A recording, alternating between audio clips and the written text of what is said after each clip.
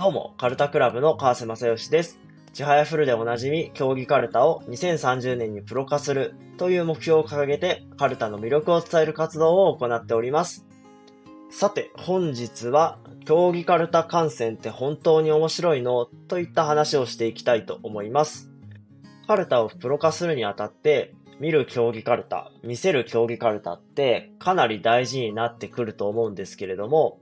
結構ここに僕はハードルがある気がしているので、そんな話をしていきたいと思います。ただ、僕が今思っていることって多分正しくないんじゃないかなと思っていて、なので、ぜひ皆さんの意見をコメントとかレターで教えていただけると嬉しいなと思っております。本題の前にお知らせをさせてください。12月17日日曜日に東京都文京区で第2回決まり字百日大会を開催いたします。経験者の部と初心者の部に分かれてまして、初心者の部は大会というよりも競技カルタ体験イベントとなっております。なので、競技カルタ初めましての方や初心者の方も安心してご参加ください。競技カルタやってみると、病みつきで中毒になる人がいるぐらいめちゃくちゃ面白いですので、小学1年生の方から大人の方まで、皆さんぜひ騙されたと思って一度ご参加いただけると嬉しいです。申し込み締め切りは、なんと本日まで、本日11月13日までとなっております。お申し込みの忘れのないようお願いいたします。もう一つお知らせをさせてください。カルタクラブで競技カルタのオープンコミュニティの立ち上げが決まりました。イエーイ。はい、このオープンコミュニティっていうやつはですね、その競技カルタの世界の課題感みたいなところ、大会にが抽選で出られないとかですね、あの、カルタやれる場所が近くにないんだけどとか、まルールよくわかんねえんだけどとか、まあ、なんでもいいんですけれども、まあそういったものの課題感を共有して、その解決に向けてみんなで進んでいくためのコミュニティとなっております。カルタを見て楽しんでいる人、強くなりたい人、子供がカルタをやっている親御さん、誰でも匿名で簡単に参加できるものとなっておりますので、ぜひが気軽にご参加いただけると嬉しいです。コミュニティのオープンは11月17日の金曜日、11月17日の金曜日、夜の8時を予定しております。コミュニティの参加リンクは旧 Twitter、X や Instagram、スレッズなどで告知しますので、私かカルタクラブ公式アカウントをフォローしてお待ちください。はい。というところで本題ですね。競技カルタ観戦って本当に面白いの？っていう話なんですけれども、まず、それがプロ化するにあたって重要であることを、まあ前提としてお話ししておきたいなと思ってまして、まあ、プロって、要は、スポンサーからお金をもらって、まあ大会とかが開かれて、スポンサーとしては、その競技を見る人たちが、そのスポンサー企業のものを買ったりとか、まあ、普通に CM を見て、その認知が広がったりとか、そういったところに魅力を感じて、お金を、まあ、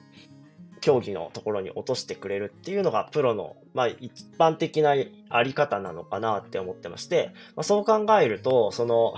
プレイする人に対してお金をくれるというよりは、やっぱ見る人に対して、見てくれる人がたくさんいるから、そのスポンサーになってくれるっていうところがあると思うんですよね。なので、やっぱり競技をいろんな人に見てもらう、たくさんの人に見てもらうっていうのは非常に大事なので、観戦、見てもらうっていうところが面白くないと、やっぱりスポンサー集めは難しい。だからプロ化するにあたってかなり、その見てもらうことは大事なんじゃないかなと思っております。で、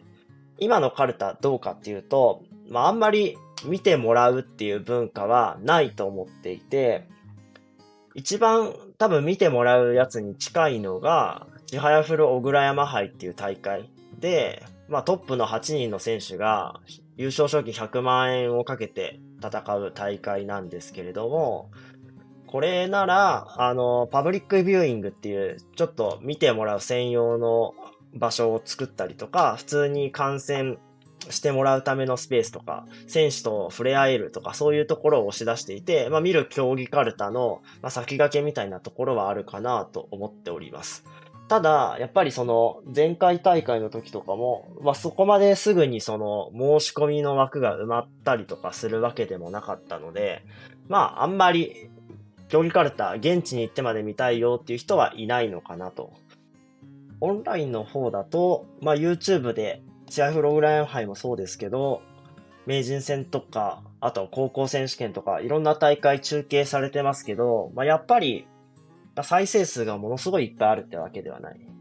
行って1万とか、2万が行ってたのあったかなとか、まあそんな感じなので、で、YouTube なのでもちろん無料ですっていうところ。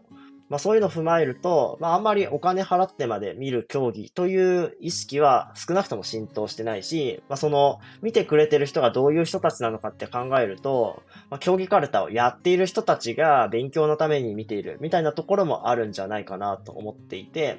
本当に競技を見るっていうところに楽しみを見出して見てる人がどれぐらいいるのかなっていうのはちょっと現状わからないっていうのが今の競技カルタ界の実情かなと思っています。で、ここに関しては、あの、打ち出し方プロモーションの仕方とか、その宣伝の仕方とかに問題があるのはもちろんそうだと思いますし、見せ方に関しても、いろいろ工夫して改善していく余地はあるんじゃないかなと思ってます。例えば、野球とかだと、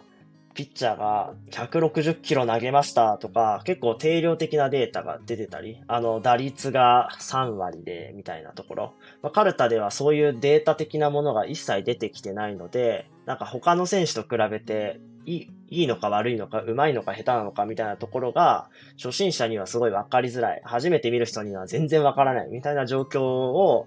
データを作ることで改善したりできるかなと思ってます。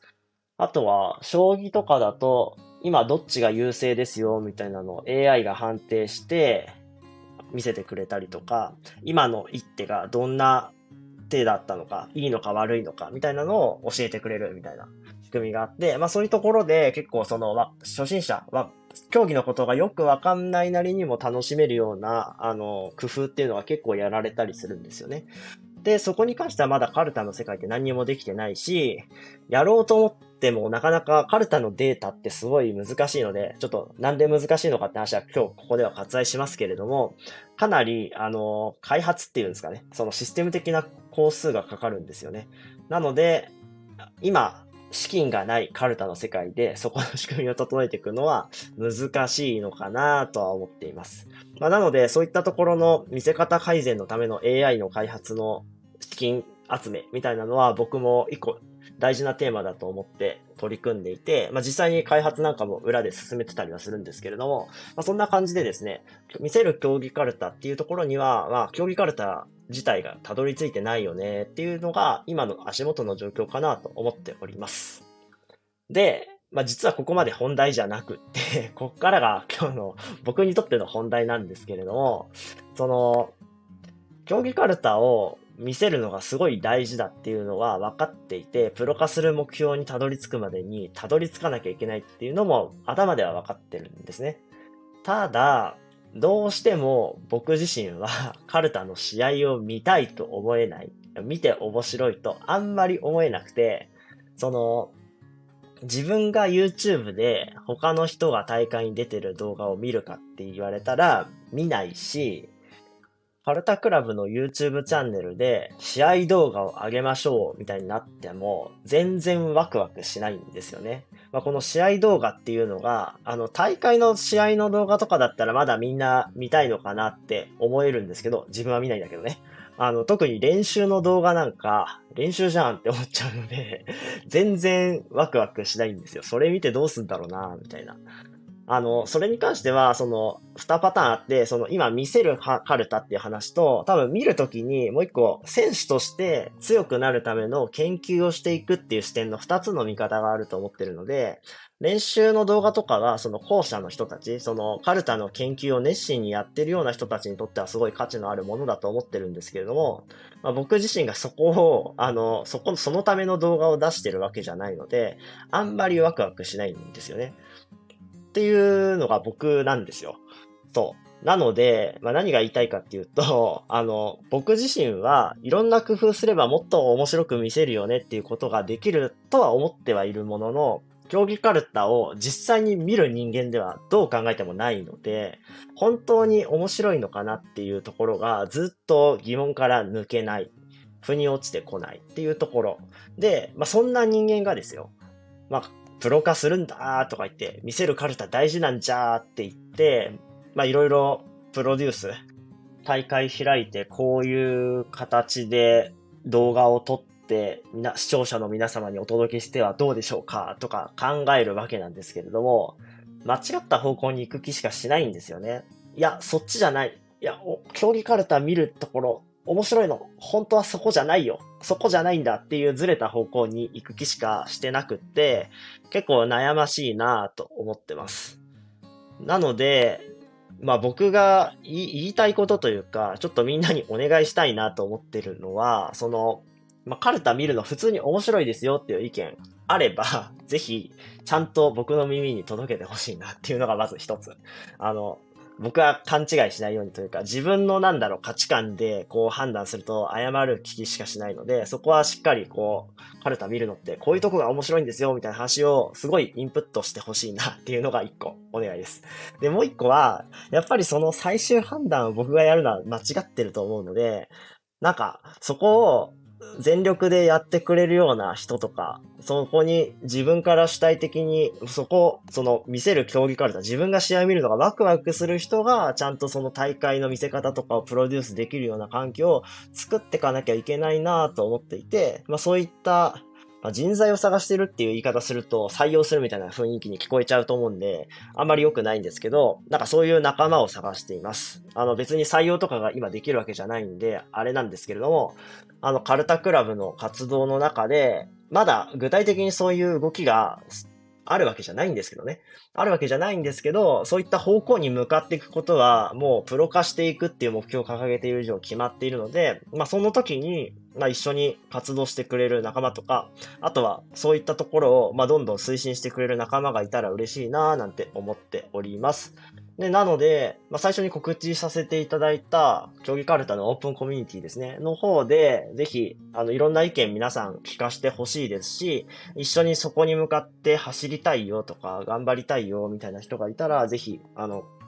参加して、一緒に活動してくれると嬉しいです。